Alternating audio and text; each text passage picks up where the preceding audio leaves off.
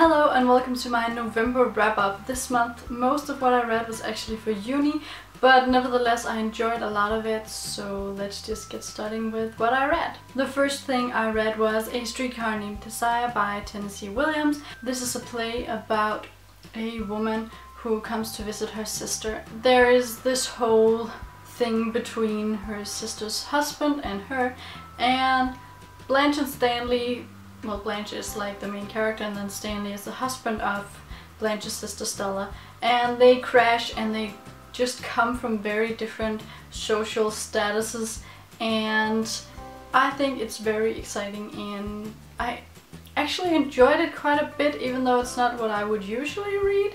We also watched the movie like earlier on in this course and it was interesting and I don't really know how to explain it without spoiling what it's about but I would definitely recommend you go read it. The next thing I read was Media and Culture Studies and this is kind of like a compendium or anthology kind of thing um, that we had to reach in the course called History, Society and Culture and it is just a compilation of many different texts and it's one of our teachers who kind of compiled it so I don't really know what to say about it. I didn't really like it that much because a lot of it just seemed unnecessary because either we didn't use it for anything at all or the next time we had a lecture the lecturer would basically just say everything we read so it felt kind of pointless reading it but nevertheless I did finish it. Some of it I mostly just skim read because I was like I can't use for anything. So that was kind of frustrating and I didn't really enjoy it that much, unfortunately. After that, however, we read The Walking Dead Volume 1, which is called Days Gone By by Robert Kirkman and Tony Moore. And I really, really enjoyed this. I really, I say really so much. I love this. I absolutely, I absolutely love this. Um, I think perhaps I'm going to continue on. I didn't really think I didn't think that I was going to enjoy this too much. I haven't read a lot of graphic novels, I know this is more like comic, but I haven't read a lot of it, but I was like, okay, we have to read this for uni, let me just buy it and read it, and I was hooked. I think I have to continue on, and yeah, I don't think I need to explain what The Walking Dead is about. I also think I have to watch the TV show now, but I have so many shows that I'm trying to catch up with or like I'm following, so I don't know when, but I really loved it. After that I read The Complete Maus by Art Spiegelman. This was also for uni and I also love this so much. It's about Art who talks to his dad about being a prisoner in the Second World War in a concentration camp and it's kind of done in this way where it starts with interviews and then you kind of have flashbacks to the concentration camp so you kind of jump from Art talking to his father Vladek and then to the concentration camp and seeing it unfold. And the exciting thing about this, which also says a lot about it, is that every nation or race is like portrayed in some type of animals. The Jews are portrayed as mice, the Nazis in general are portrayed as cats, the Americans are portrayed as dogs, the Poles as pigs, and I think there's like one Swedish guy in this and he's a moose, which is kind of funny because it's just yeah.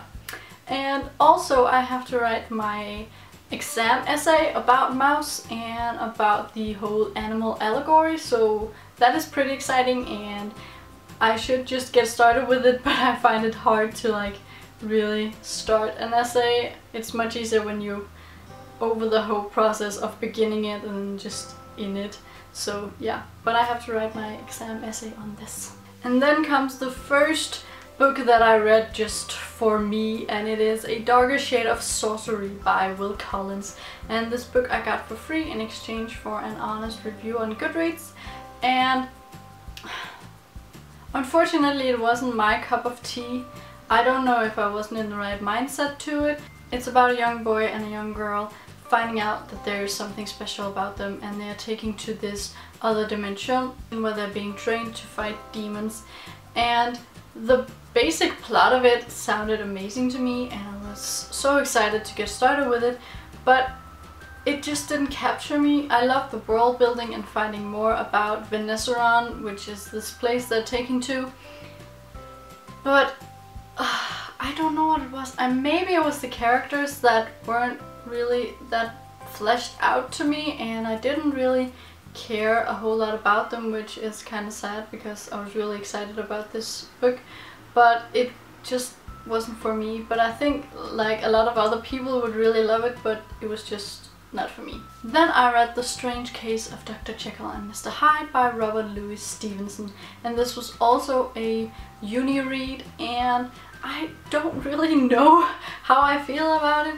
I think it's definitely not something I've ever read before, like that type of genre, but I, I think I enjoyed it. I don't really know. It's kind of a fast read because it's like less than 100 pages I think in most editions and it was good but it was also a bit hard to understand. I think having to discuss it made it more difficult for me to appreciate it because our teacher brought in some aspects and point of views that I was like I have no idea what you're talking about. Why are you talking about this relating to the strange case of Dr. Jekyll and Mr. Hyde? Because I just couldn't connect the things and I think that made it more difficult for me to understand and appreciate it but overall I think it was good.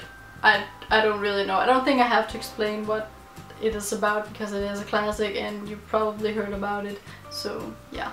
And then I read Earth Psalms by Francine Rivers and you might be thinking if you saw my last wrap up but Rebekka you just read that and that is correct. I read that last month because I was editing it and then I read it this month because in the process of setting it up for print they messed up and a whole lot of mistakes were made. So they were like, hey, we made a mistake, could you please read through it again? And I was like, yeah, sure, I can do that. And like the guy I was in contact with, he had found 14 mistakes, I think, within the first 30 pages, and I was like, okay, I have to read it through again just to see if there's someone some mistakes he missed, and there were a lot of mistakes he missed. So throughout these, I think, about 200 pages, there were 171 mistakes. So yeah, that's a lot of mistakes that weren't there when I edited it, but because they had to set it up for print, they made a lot of mistakes and I had to fix all of that again. So I read it again.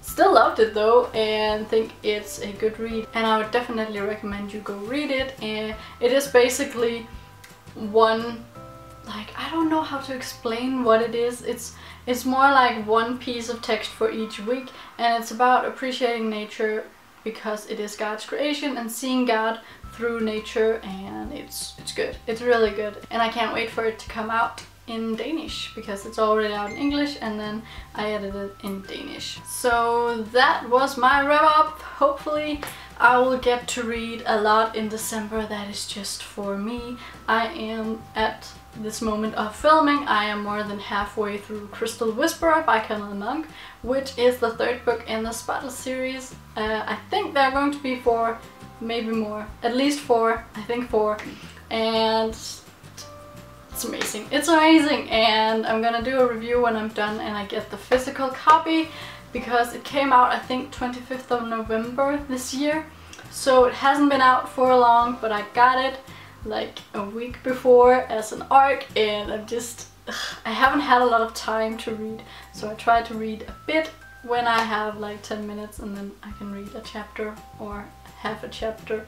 So I'm so excited. Hopefully I will be done once I upload this and yeah I think that's it for now. I hope you have a great day week everything. I hope your life is great and hopefully I'll see you next time. Bye bye